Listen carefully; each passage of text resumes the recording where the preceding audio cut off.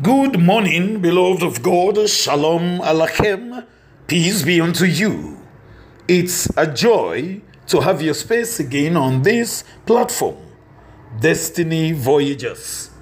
My name is Ebifa Woko. Beloved, obedience shows swag.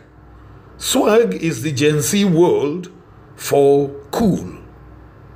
Beloved, Obeying God's word is best, the best thing that any man can ever do. The reason is it shows the man's ability to defy all logics and connect to the spiritual realm. So, we are speaking about you this morning. When you are obedient, it shows that you can defy all logics. It shows that you are a spiritual man operating beyond human limited sensibility. That shows what we call swag. You are among the league of the immortals. The spiritual man, the Bible says, judges all things, but he himself is not judged. 1 Corinthians chapter 2, verse 15. Beloved, obedience rocks, and because you are outlined thereof, you are cool you cannot be deterred. No one can stop you.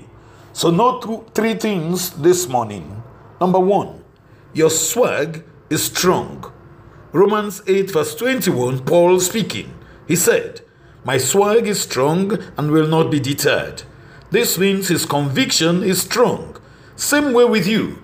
When you are obedient, it shows that in spite of what people will think, you go on. So it means your conviction too is strong.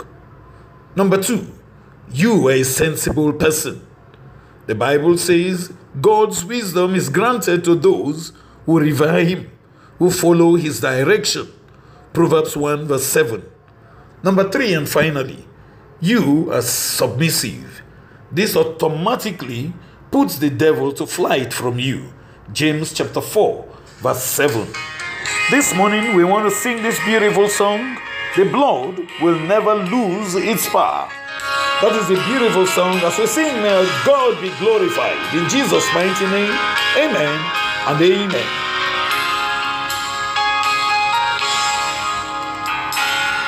The blood that Jesus shed for me way back on Calvary,